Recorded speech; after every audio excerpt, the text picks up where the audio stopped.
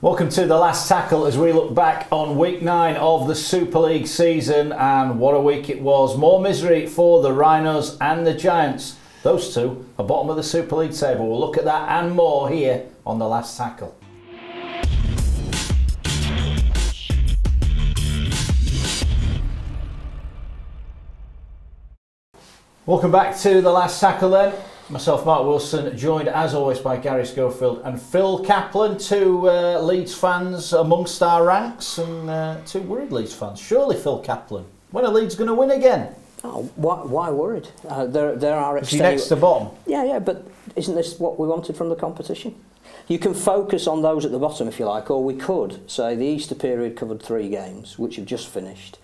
and we should praise Hull and Tom Johnson because they're the real stories.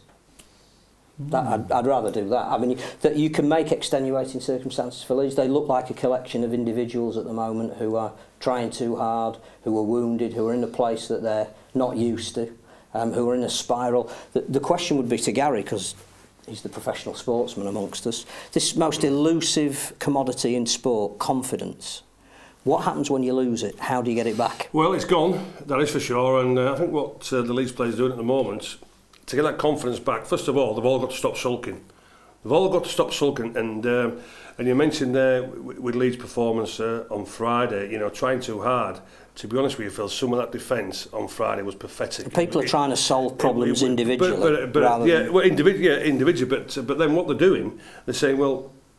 oh, why can't you do a little bit of that? Why can't you do I don't want to do it all. As a team, that team not there anymore. That bond what they've had, that never say a die attitude has gone missing. For some reason, mm-hmm. it's gone missing. And um, the hole what leads are in, they're in a big hole and they're nearly at the bottom of that at the moment. How you get the conference back, um, I wouldn't know. But one thing for sure, They need a leader out there. They need somebody to grab the bull by the horns and shake it and say, hey, listen, listen, we're far better than this. Let's stop sulking and, I, and go I, out there and do what we're I think they do. will get that with Danny Maguire because uh, obviously he, he clearly couldn't be expected to have a, a huge impact over the full 80 minutes, having only played 30 minutes this year the organisation was slightly better while he was out there, but he tired towards the end, which is absolutely understandable. And when Holkar, who were absolutely superb on Friday night, as indeed I think they were on Easter Monday at Wigan, when they, they went with a team with 13 players out, three academy debutants, and 10 minutes before the end were leading that game. Well, that, I, that's a real show of character. Yeah, but Phil, yeah, but Phil, yeah, but Phil at the end. Listen, we should let, praise let, yeah, that. Yeah, but, yeah, oh yeah, let's let's praise a little bit of you know, I guess from a point of view and Rovers for, for their effort and commitment. But let's not forget this. Leeds walloped them 50 0 mm. in the Challenge Cup final. Let's not forget and Rovers were, before they beat Leeds, were second bottom in the league. Mm. Mm-hmm. Hulkinson Rovers aren't that good, have they? Well, Sean Lunt made a huge difference. Oh, yeah, he would, do, yeah, he would Absolutely. do. I mean, yeah. when, I mean, they took a risk with Campese. He, he, he didn't look fit from the minute he ran out, and after 13 minutes, he was playing on the wing and limping. But actually, in some ways, the best thing that could have happened was that he came off, because not only did Lunt come on who was the lump that we've seen at his very best. But Clarkson moved out of hooker into the second row, had a real impact playing out wide. And Morris Blair, who's been really good in Campese's absence, went back to controlling the game at standoff. And they had that axis. Uh, that's what Leeds haven't got at the moment. That's what certainly Huddersfield haven't got at the moment. And it's really interesting to look at all of the sides, identify who their one key player is, and if they're not there, what difference it makes. So you look at, for example, Widnes at the moment going through a difficult run. They haven't had Kevin Brown. Salford going through a difficult run. They haven't had Robert Louis.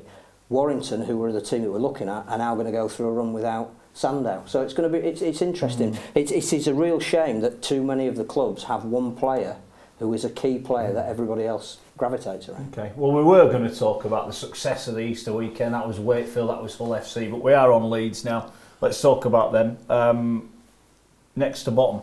Yep. Can they still make the, the top four? They're only eight points behind, but we're you know when it we're nearly a third of the way through the season. We said we'd judge it after Easter. I think that that was a fair time that everybody would have played a significant amount of games against all the other teams to say there is a form line now that we can look at. And I thought it was interesting this week that Paul Anderson came out and said we're now not looking at top four we're looking at survival. We don't want to be in the in the bottom four, and and they've only got two points less than Leeds. So Leeds are in that similar position. They really can't afford to probably lose more than two more games to to genuinely expect to even have a chance of getting in the top four. They do, like so many other clubs do, have half a dozen players to come back in, some of whom are really significant to them. Um, if they can keep the guys that are starting to come back on the field, the Ablets and the Maguires, the Jones Buchanans, yes, they can get out of it. To be honest with you, um, I think when you look at Leeds' next four fixtures, Salford away, and we know Salford this year, you know, a better team. You know, I'll emphasise that team again. You know, the, the ethic what they've got there. They play them at Salford, and then they've got Hull at home the week after with the flying, and then away games against Saints. Okay, they may not be playing well, but still, you know, they're playing better than Leeds at the moment. Then they go to Warrington. I can't see where Leeds' next win's coming from, Phil, to be honest with you. We talk about that confidence there, and the confidence the teams that they're going to be playing against, they're going to say, hey, what a time this is to be playing the league well, because I, the shot, the I shot think, at the um, moment. Um, Easter Monday showed that with the game against Wakefield. Uh, you know, Wakefield were great and tenacious, and we can talk about whether we should be playing two, three fixtures over Easter. But it was Leeds that shot themselves in the foot with the last play of the game. So even from setting themselves up to go for a drop goal that might have won it, suddenly a wrong option taken, a ball dropped, and they've lost it. And they need to do what Wakefield did. surely though, for, they need to jagger with. Surely though, for, right? Let's let's have a look at the Leeds fixes then over the Easter period. Cass. Wakefield and Hulkerson Rovers. Even though Leeds have got a few players, aren't they? Mm. Mm-hmm. Surely that's 17 what Leeds are putting out, There's enough quality there for him to beat Cass, Wakefield and Hulkinson Rovers, surely. Oh, I'm, I'm not doubting the fact that there is. I'm just saying that when confidence goes, which is this most elusive commodity in sport, players start doing things that are out of character. So if somebody like, for example, Zach Hardacre, who pulled off a magnificent tackle at Castleford to stop Solomona when he looked all on a scorer, drops a high ball. And from that high ball, Castleford score. It's, it's uncharacteristic mistakes from players who wouldn't normally make them. So it's not necessarily about the personnel that are out there, it's about why are they making those mistakes? What pressure do they feel under? What, what hole are they in that they've not been in before that they need to come to terms with? And, and that's where, again, I think if you, if you scrape a win, it starts that move again. Well, I'll tell you what, mate, they need to, they need to start scraping very, very quickly because mm. they are in that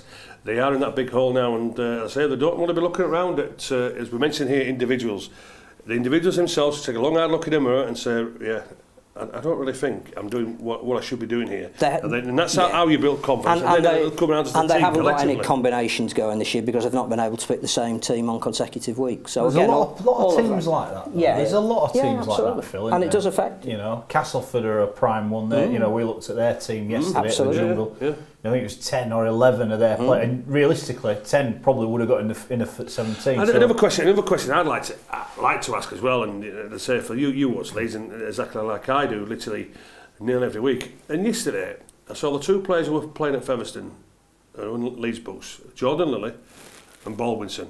Well, you can't tell me now, the way that Leeds are playing with no creativity whatsoever, Jordan Lilly should not be playing at number seven. And then also as well, right, Young Baldwinson, Young Baldwinson, the way he's playing, that Galloway, the way that Garber or Garby's, whatever his surname is, is playing.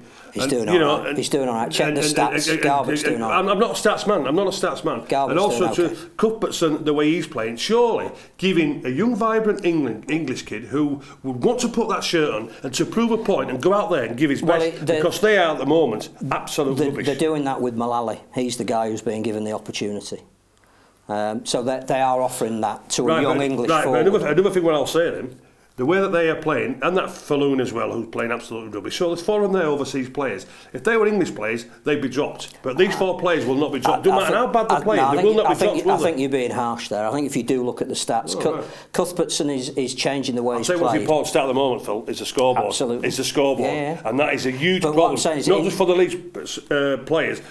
but the supporters as well. They want to ask questions, and some of the, one of these questions. I was at the doctor's surgery this morning, right? Doctor's right. surgery this morning, and it's and it's a Leeds fan who was there. And she said to me, oh, Scotty, what's going on? You know, do you think uh, do you think there's anything wrong? So they said, well, you know, the dressing room, they're losing a bit of confidence. And then she said, where they've been brainwashed a little bit of time, the supporter says,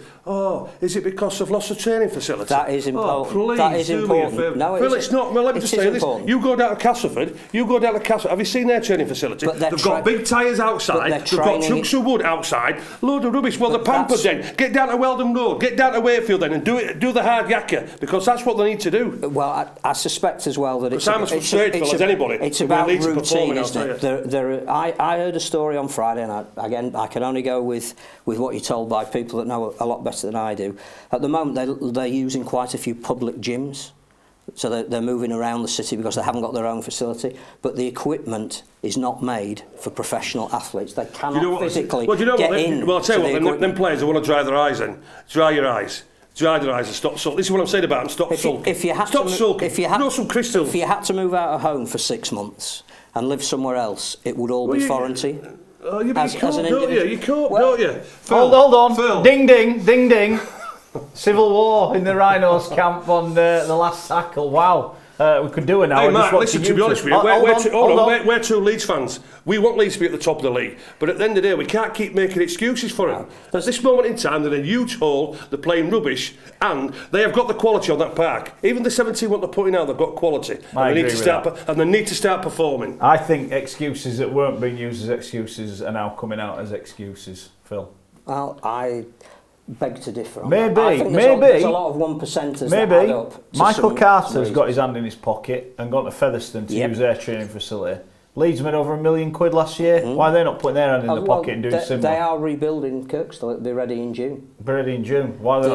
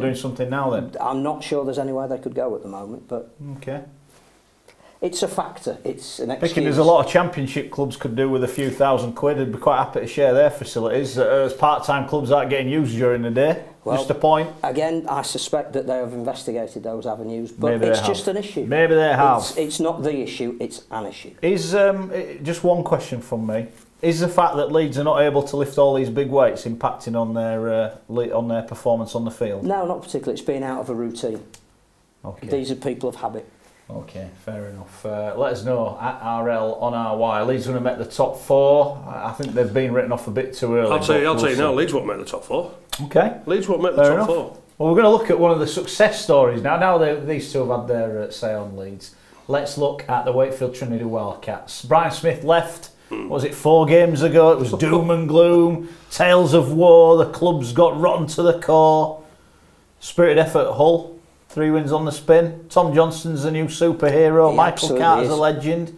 What's happened? Tom Johnson is the story of Easter. Um, he scores wonderfully spectacular tries that gets him the headlines, but I would point again to Easter Monday at Headingley where he made three unbelievable try-saving tackles that won them the game. He is now looking a complete player and he's looking like he's having real fun out there. He's, The, the really interesting thing about him is he doesn't have a rugby league heritage. He was a footballer until mm. I think he was about yeah. 14, 15. Yeah. And if there are athletes out there that can be that good in rugby league, that's where we should be fishing for more players hmm. because mm. he is a talent. He's got wonderful footwork. He's a joy to watch. There's a couple of other young guys in the squad as well that are obviously relishing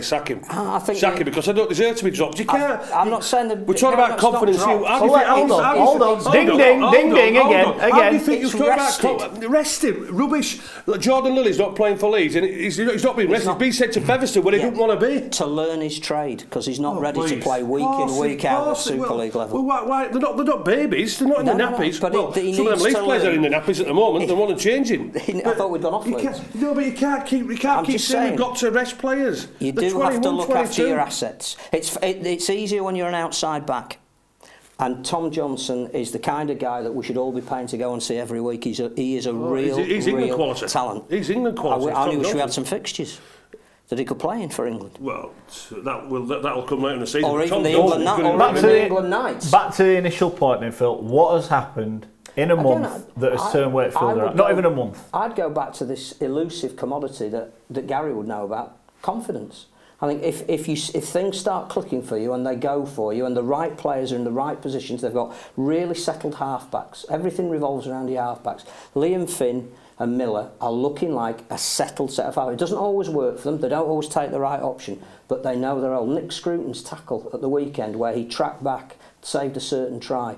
That tells you everything about people are believing in each other. They're, they're not relying on individuals shooting out of a line and trying to solve problems themselves. They've got the team ethic, and at the moment it's working for them, and they should, they should milk it for all it's worth. I also think that by focusing on Scruton's tackle, which was magnificent, we missed Ben Jones Bishop's tackle on Junior sal towards the end of the game, which was, again, a, a game saver.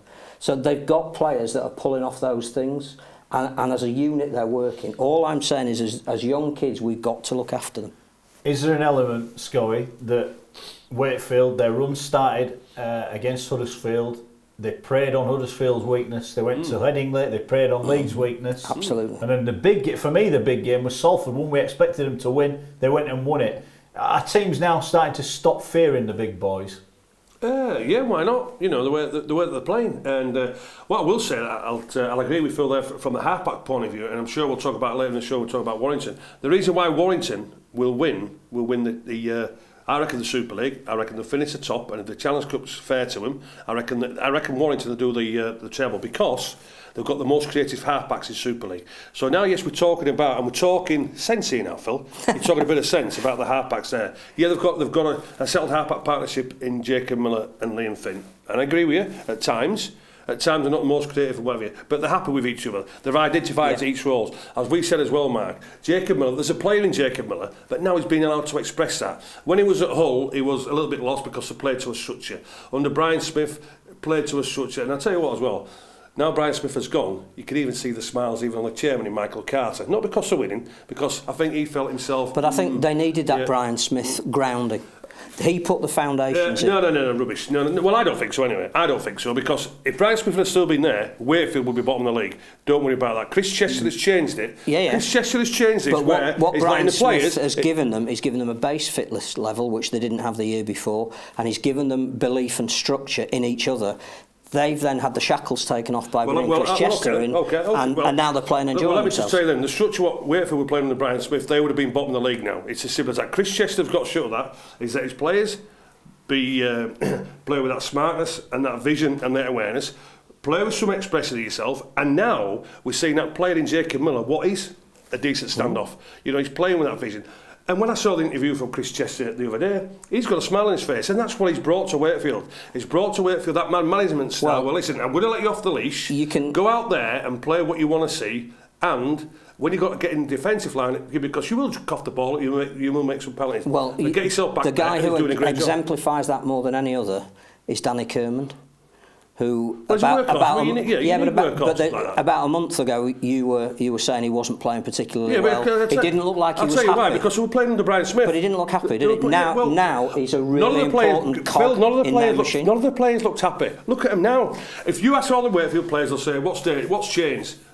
Brian Smith's gone."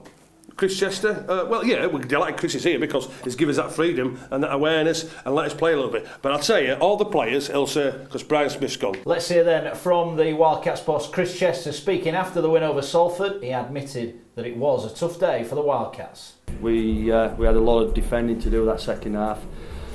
But uh, you know, it showed the character of the boys. We, you know, we've got a, a, a front rower chasing back Michael Dobson, you know, to save a try you know that's what this club's all about. It's all about desire. It's all about attitude, and um, you know there's plenty of that today. You know, deceptively very strong when he carries the ball, and he can finish a try as well. And it's all you know. I've just got to make sure I keep um, young Tom grounded. Um, he's an exceptional talent, and uh, he's a pleasure to work with. Um, he won us a game last week against Leeds, and um, you know he's won us a game again with his uh, with his try scoring today. Well, as they say, winning becomes a habit, don't they? We, we, we've just got to, um, you know, just continue the, the momentum, continue the, the work that we're doing out on the training field, and you know, we're hopeful that some more results will, will, will come along the way. Um, we've got Wigan next week. It's going to be a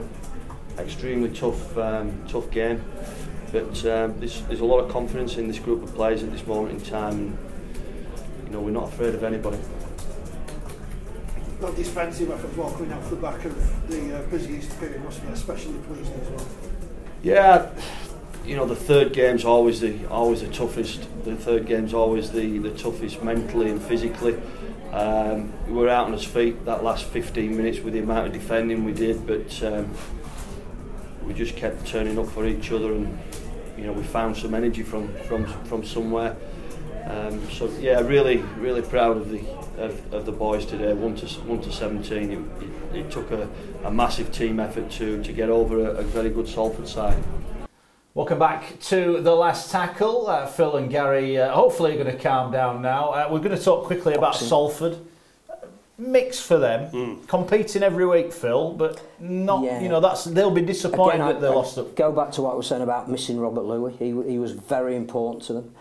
Uh, Michael Dobson and Louis seem to be a really good combination. uh, you know, one, one's got the kicking game and the organisational skills, the other improvises a little bit off the back of that. And the, they've got some some good players out wide. I said before, Murdoch Masilla, I think, again, is a, is a real asset for them. But they just don't seem to have that link when Louis isn't there. Um, I'm, I'm interested to know what Gary thinks about playing half-backs at full-back, which seems to be a trend at the moment. Gareth O'Brien there for Salford and We've seen Ryan Briley now move to, to full back at Huddersfield. Um, that I think that exposes a couple of things if you're a slight player. Uh, you can see and drift into the line a bit like Luke Dawn does, and he switched between the two. But if you're a lightweight player, nimble on your feet, it, it's very easy to be steamrolled over. Um, again, I think that's happening a little bit at Salford. That O'Brien, you know, teams are now playing at O'Brien, particularly on attack. Uh, but they're in a better place than they were this time last year. I'm still not 100% convinced they'll make the top eight. Um, they need to keep all of their star men out there all the time, and their issues now are off the field with, with not only the um, the impending investigation into the salary cap, but also into into crowd trouble. So I think that's probably more important for them at the moment than, than even how they're playing. Yeah, they are a better team, but um, it's consistency, isn't it? That's that, that's a worry for them. You know, they seem to play uh, pretty well at home and uh, away that uh, struggle a little bit, but it's just that consistency. As far as um, with the halfback you mentioned there, O'Brien, I think he's a fullback to be honest with you. He's, he tried at Warrington loads of times, and uh, I think he went to St Helens at Castleford. I think fullback is his best position. Yet they have missed Louis. Well, you will do that as a solid mm -hmm. water player there, but uh, I think Salford will be all right if they get that consistency. I think at times, you know, they win more games at home than what maybe people will say they're going to lose. But uh, I think Salford will make the top eight. They, might, they might worry a little bit if Justin Carney was going to be out for any length of time. I don't think his ankle injury is as serious as they thought it might have been, but they need they need strike players that can get them points. And uh, if you take people like Louis and, and, Carney out of that, then it just blunts them a little bit. It does. Uh, it was a disappointing afternoon then for the Red Devils, let's say now, from their coach, Ian Watson. The start of the game didn't help us, to be fair. We kind of gave them a little bit of a start, um, and then was on an uphill battle. But once we got the game back in our grasp a little bit and was we looked like we was the, the stronger team in that period and then we just didn't um, take the right decisions should we say um, we weren't very smart with the ball um, we had a few of the wrong options and that's cost us at the end of the day they're, they're all a fair way away Vido and people like that um, well Rake um, uh, we, we lost copy in the warm up today as well with um, a back spasm um, just something out of the blue just came on um, so just one of them things. So yeah, we, we have got a few injuries. Um, like, like I say, Tommy, uh, Greg Johnson, um, Justin potentially now as well. Um, th- Rob Lewis not too far away. He's probably one of the closer ones to coming back. Um, we'll assess where we're going for the rest of the week on, on the back of what we've pick up, picked up today. But it, it's just one of the things. It opens the door for somebody else to have an opportunity. Um, you can't just keep going on about what you've not got. You've got to deal with what you've got was, yeah, our, our defence was awful at the beginning of the game, to be fair. Um, and then, to be fair, we've been really consistent in that area, to, uh, defending. Um, today, we, we dropped off that, especially like um, we put a big emphasis on like our kick chase, and that was poor in the first half. Um, and then that kind of snowballed and allowed them to get a lot of field position and then they scored when they got down there so our goal line D wasn't great as well when over the last few weeks it's been really good our goal line D so it's something that we need to look at and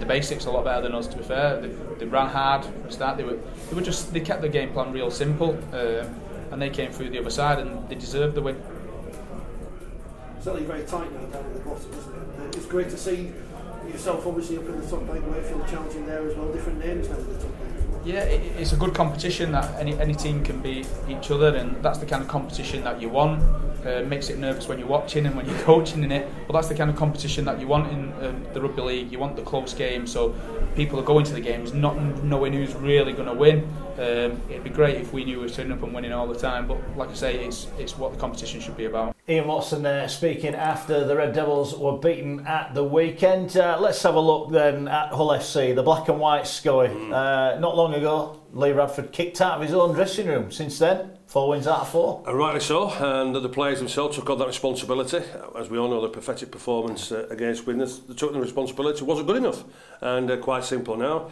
I know Phil keeps saying players should be protected, player welfare, and too many games. But uh, I tell you what, Hull FC had won Easter every every week. Well, play fairness, three games, in, you know, in play fairness, three games in eight days. Phil, great results. They beat Warrington on Easter Monday, mm. and then they bring back the likes of Minicello, Fanua, uh, Sika Manu. They yeah. made six changes Absolutely. and six improving. That's no disrespect to the lads that missed out. they brought in six big players. And it's it's having fit and big enough squads to manage them at this time of the but year. They've all got the same size squads, 25 to But they haven't players. all got players fit. And Hull at the moment, touch wood, and hopefully it continues for them. I think there's two words that sum up Hull at the moment. I, and I don't think, for all of the excitement machine that Tom Johnson is, the guy for me who, who had the greatest Easter and, and rallied his team was Gareth Ellis. Well, oh. Just thought he was, at, every time I saw I anything to do game. with Hull, he was magnificent. I went to Langtree Park, there was a spell into the second half where he made about six tackles out of 12 and they were, he was smashing people. Mm. And Lee Radford said to us after, he said, I don't know why people run at him. They must be, in, you know, he said, well, must be insane. And that's his stock, but it's taken him, yeah. what, nearly two years to get back to that level of mm. fitness that he had in the NRL. Um, and that, again, we won't go back to player welfare, but I do think we, we expect a hell of a lot of our players. But when you've got somebody like Gareth Ellis fit and in form,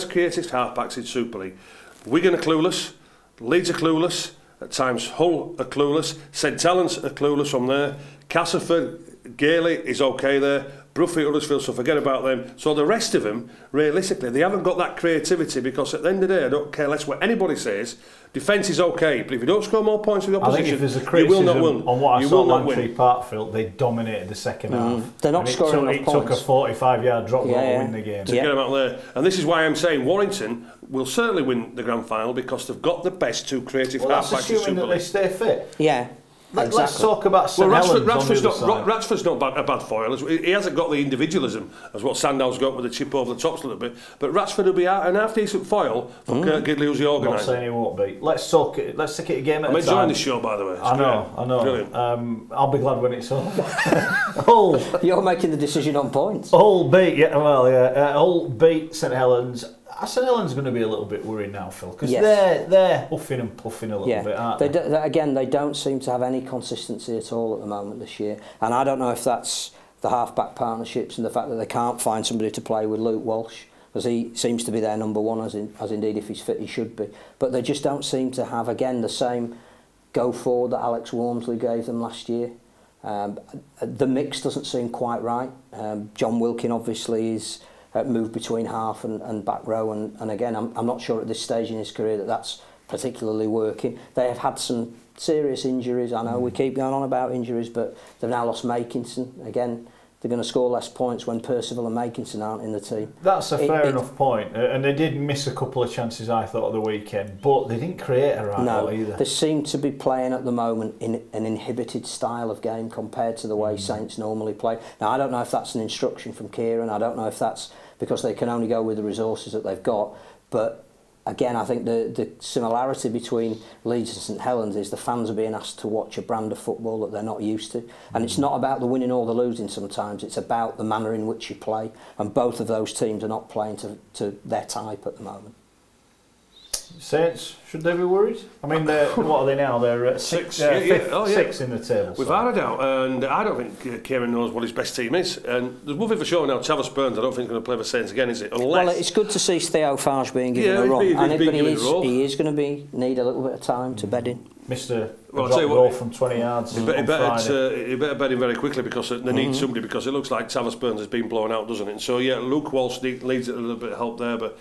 yeah, I think it's it's a huge issue uh, for St. Helens. Phil's mentioned there that the brand of rugby league, what, certainly what the fans are used to and, and certainly what the Saints players are used to. So whether it, it's got to be coming from the coaching staff, the style of rugby league, what they're playing. And at this moment in time, it's boring and it's clueless at RL on our way. Do you disagree? Agree with what we're saying? It is open for debate as always here on the last tackle. Looking, uh, it's not been a great Easter for Widnes, has it? They went in top of the pile. They come out. They're still in the top four, but three defeats. They've had three very, very tough fixtures. Three. We've got to give them that. And they're starting to see some injuries. You know, the, Runciman's missed the odd game. We picked him out. Kevin Brown hasn't played at all over the Easter period, and he is so pivotal to what they do. It's great, more importantly perhaps than the results, because they've bought those with the way they played earlier in the season. Is they've had the, the re-signing of Joe Mellor, which I think is really mm. important for them. Christine's just re-signed for them as well. Mm. So I think that that's more important at the moment. They need to hold on to these players that have given them such a great start. I thought they were pretty dogged in Catalan. Uh, well, they've it, lost it, three it, games, but they've not been blown no, away anywhere, have no, they? No, and, and it was one of those typically horrible third games at Easter.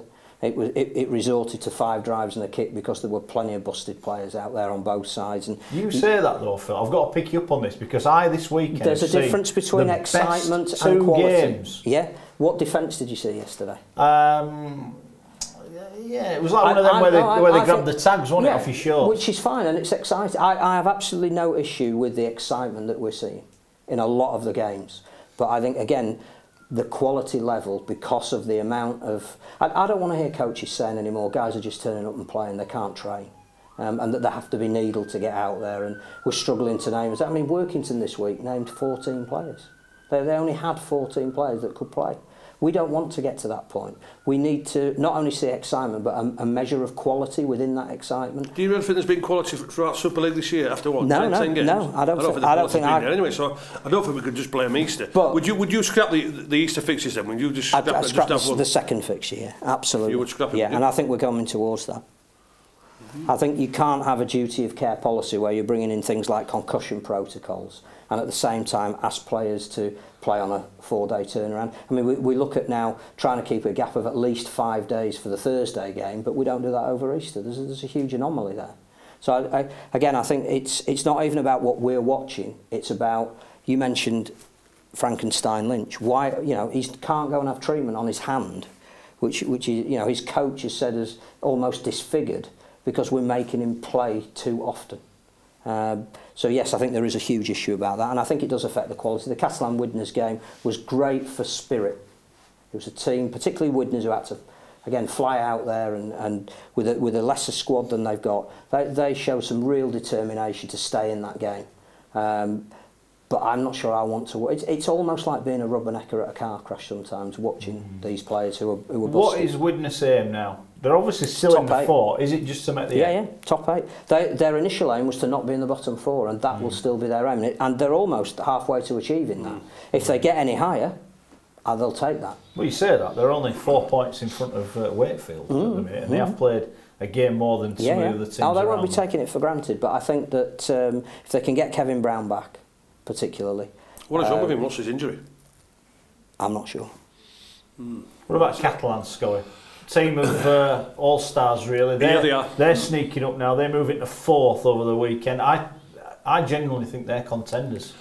Well, they are, and uh, and that's as you mentioned, a team of a team of all stars. They're coming together as a team, aren't they? You know, and and the plus thing about it, um, Todd Carney didn't play, so uh, the other players themselves started thinking, well, we're not going to be a one man team, and we're going to making sure that we don't let ourselves down in his uh, in his own backyard. But again, Big Dave Taylor for me was absolutely outstanding. He had a hand in the first try with Pat Richards playing like a centre, and then he'll take the ball up all day, give you that hard yards, And that is one, and, one-handed uh, pick-up. And then at the end, you know, when they cough the ball, the one-handed pick-up, just like a young scorer, darting over and uh, over for the over for, over for it's the, the same, it's the same weight as you at the moment. Uh, I'll do the funnies, Phil. But um, but no, absolute brilliant. Dave Taylor, he'll be up there for the man of steel the, at the moment with Ben Curry and, uh, and Matty Russell. The, but yeah, the they do still clock off during games, Catalan. It, I, I don't know if... Um, Well, most teams do, don't they? Well, but they seem to go ahead and think, yeah, we, we can do this. And then for half an hour, they're scrapping around a bit. And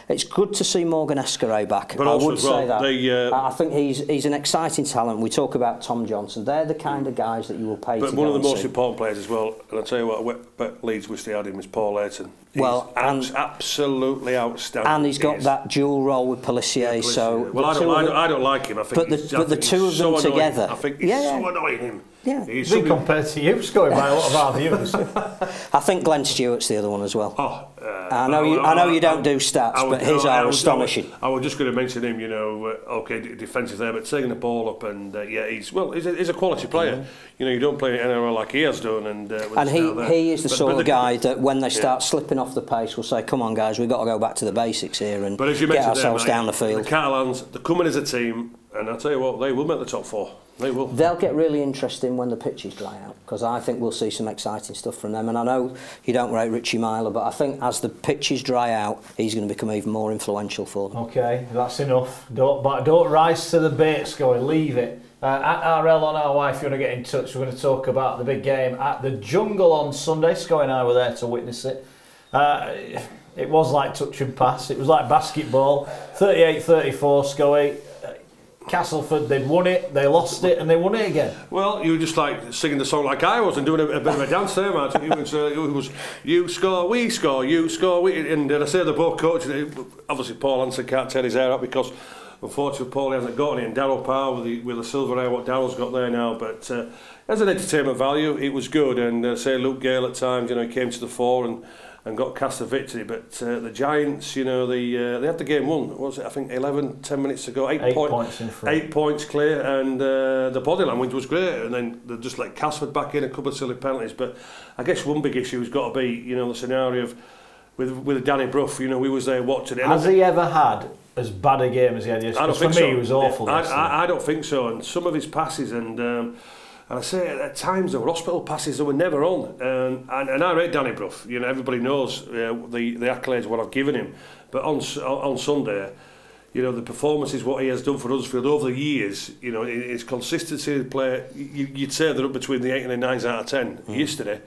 I couldn't give him no more than a 2, and I could only give him 2, to be honest with you, because of his goal kicking. Apart from that, I think it is the worst game I've seen Danny Brook play. One so is he an issue? Is, there's, got to be an issue with Danny, well, he, the coach, so, the players. He's so session. influential, isn't he? Oh, he is.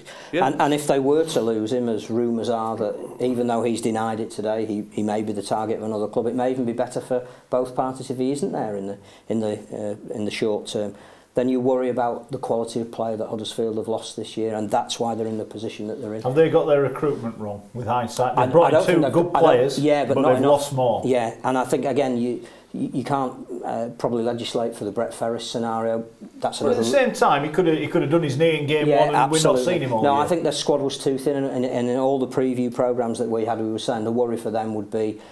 if they couldn't find their combinations, if they if they did get injuries. As it happens, they haven't got too many injuries. In fact, Paul was saying what two weeks ago was picking from strength. He had some. They have, yeah, they've had problems, but, but I look at it, they're minus forty nine points. They've lost eight games, so they're not losing by a lot. No, they, they're losing. Yesterday again, they found a way to me to lose rather than go on and win the game. It's a confidence thing. It's this it's this commodity that every coach talks about, every player talks about. It's totally indefinable. When it goes, quality people start doubting themselves, mm. um, and they start doing things that are uncharacteristic, and it's it's human nature because you're so desperate to put. You get 80 minutes in the shop window. We get a chance next week to put things right. Things start going wrong. You don't put them right, and all of a sudden you start saying, "I, I don't know who's going to get who's, who do we follow." Has Paul Anderson been clever or naive by saying they're not playing for the top four because we criticised James Webster wholesale criticism yep. for him saying look we're going for the middle eight we know what we're at is he trying to take the pressure off yes. by saying, look, let's just get a couple yeah. of wins yes. and see where that takes Absolutely. Us. I think it's the reverse to what Castleford said at the start of the season,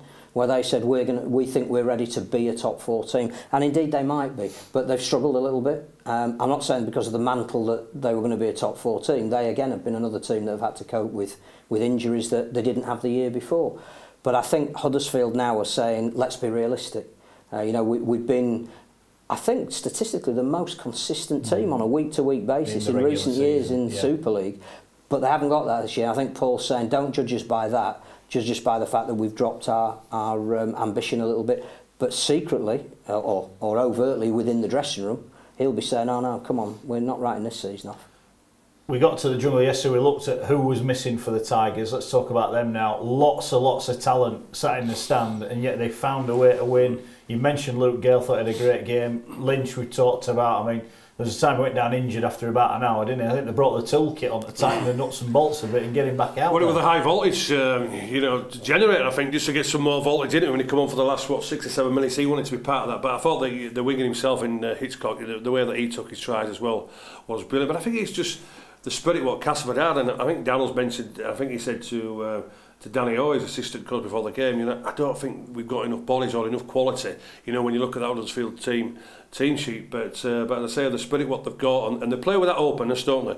You know, with that, that vision and that awareness, what Luke Gale I, brings I, there. I think they've uh, had a uh, fabulous Easter. I, I when, when you think that they beat Leeds, they then had to fly to Catalan with a busted squad. I'm, um, again, they were clever. They stayed there till the Tuesday. I think they, they built in some R&R to that so they could come back and be as prepared as they could be for the third game. So I think that's to their absolute credit. Again, I, I wasn't there. I was, I was unfortunately listening to you guys. Uh, Mike McMeekin seemed to have a big game.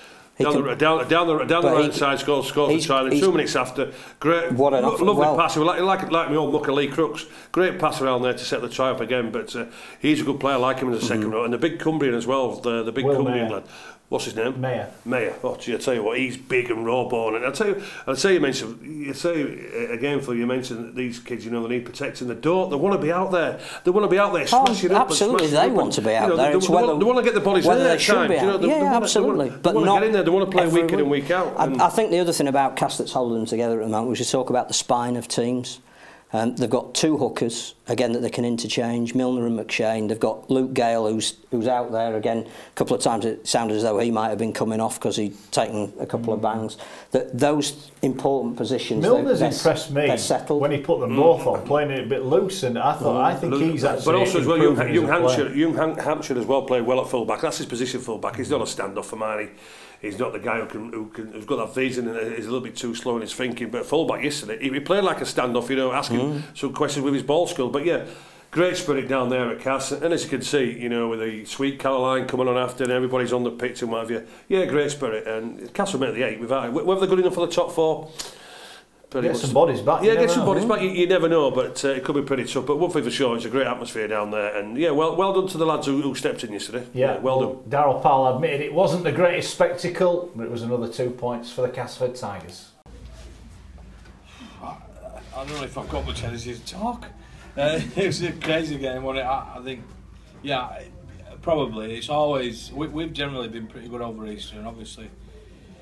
Uh, I think last year we played okay out at this this stage and we were really really good.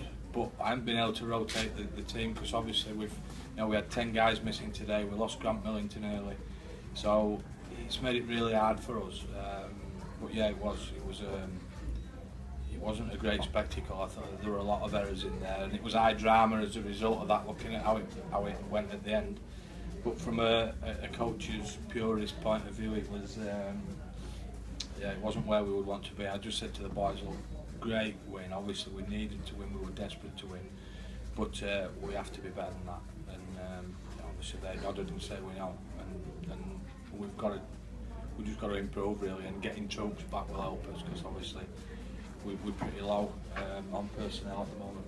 Yeah, it's a massive win. Yeah, I mean, I, I said to Danny R before the game, I'm not sure whether we'll have enough to, to beat them today. Um, but I just, you know, we we did just about, I thought, and uh, yeah, you know, Gailey come up with some key plays at the end. I thought Tom Holmes did well. Some of the stuff that he did,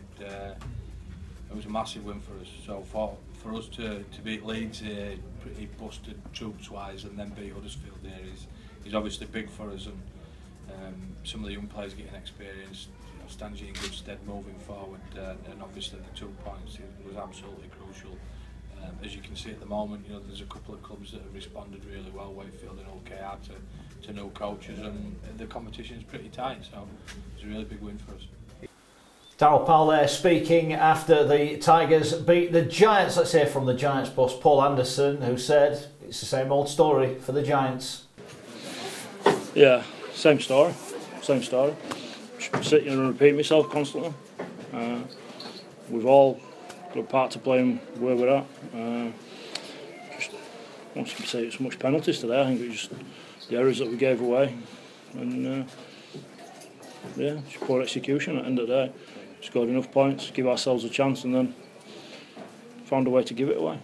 It's the same story. And you might as well just go over the last few weeks of your press stuff and pick it up again because that's where we're at. But it's uh, something we need to snap out of pretty quick. Positive today is we scored 30 odd points negative is obviously the, the ones that they got. And uh, I think we, uh, when we got to certain points of the field and executed, I thought we looked all right at times. We, we scored some nice tries, but uh, some soft ones in as well. our, our ball control and composure is not, not great at the moment, which I'm sure I've said that before. Yeah, I think when you're in this position, what you end up doing is, try, is trying real hard. I thought Bruffy's effort, I never ever questioned him, and I'm not going to do. But uh, just just as a whole, I think when you're in this position and you get opportunities, you feel like you have to score all the time, and uh, it uh, it can get you at some point. It gets us all. Yeah, I think gift like I said, gifted a lot of errors, gifted a lot of field position away. Penalties were were what they were. You could almost turn around and say it's a typical week after Easter sort of game. Scoreline would suggest that a lot of low energy out there, but uh, yeah, we've got to be better than that. It's the same same story for us, which I'm not going to turn around and tell you that, well, I will if I say it, but it's something that needs to be addressed and it's something I say every week. So Paul Anderson there speaking, the Giants bottom of the table. Going into the weekend, the top two did battle at the DW fellas uh, and Warrington came out on top quite comfortably in the end, I think. Fabulous start, made a brilliant start to the game. Possibly the best 20 minutes of the season that we've seen. The, the issue is going to be how long is Sandow out for? Because he is such a talismanic figure at the moment. Uh, Curry is just loving playing outside. It looks fantastic. The, the wingers are enjoying uh, Lynham again. Looks like he's got a new lease of life. Mm. Uh, Penny's scoring the spectacular tries. Uh, it, they're just a joy to watch at the moment. And, and I think the adversity of last year has helped them this year. That, you know, I, I would imagine that when they were away at their pre-season camp, they sat down and evaluated what hadn't worked for them, how they wanted to play this year, who they wanted to be their leaders, um, what the various scenarios were going to be if players were injured. So, you know, Matty Russell's been brilliant. If he has to step out, then you can put Ratchford in either at fullback or you can bring him in at stand-off if you need to. They've got a lot of versatility in their squad. Um, and and I, I, again, I, like Sko, if they can steer clear of injury,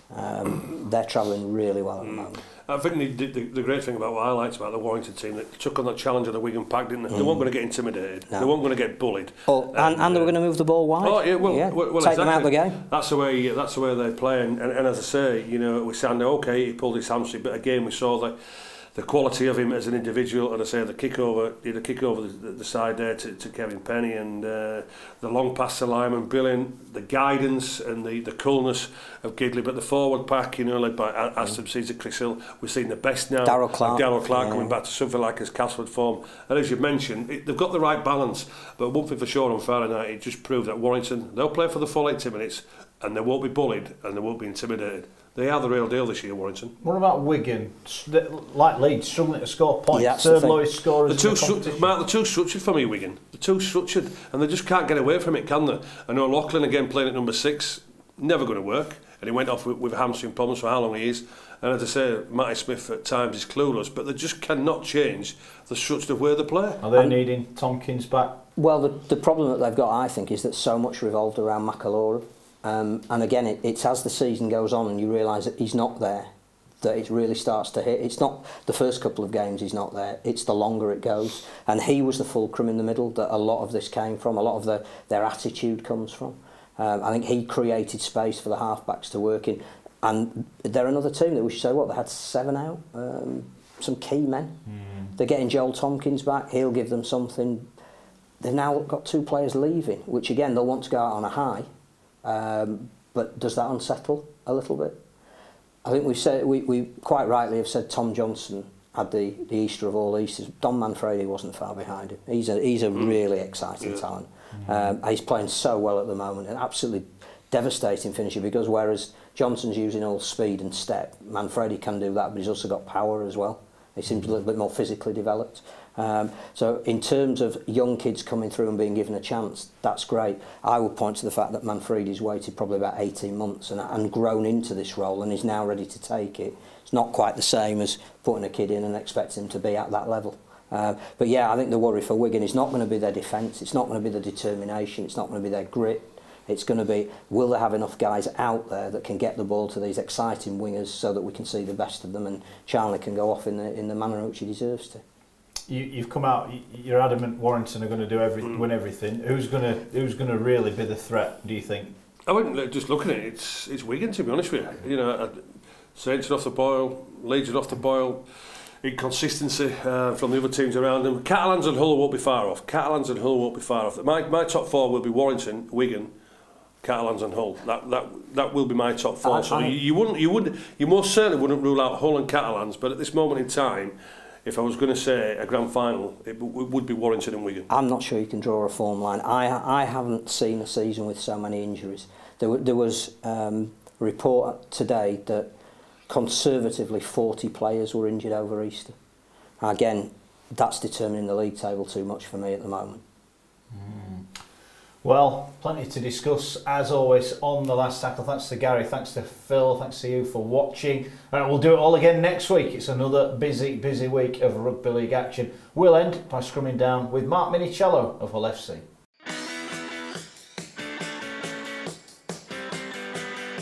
Uh, Mark Minicello, back row.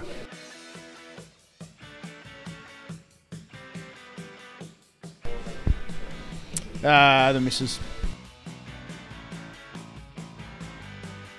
Uh, bitter.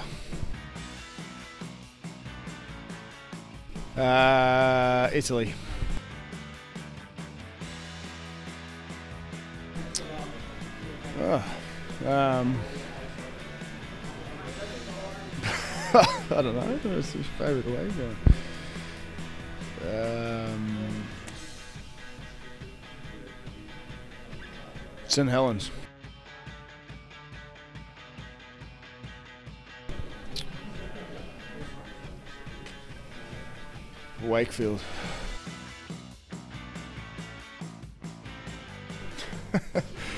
Survivor. Is that even a show? Yeah, Grant Millington said yeah, that.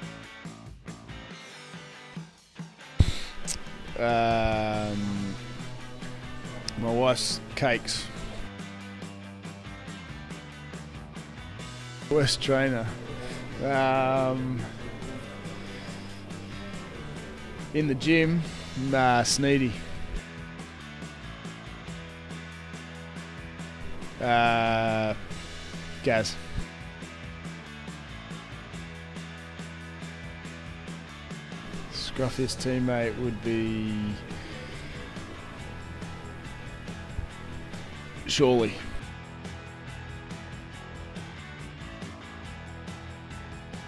My sporting idol. Uh, uh, I'm a fan of Roger Federer.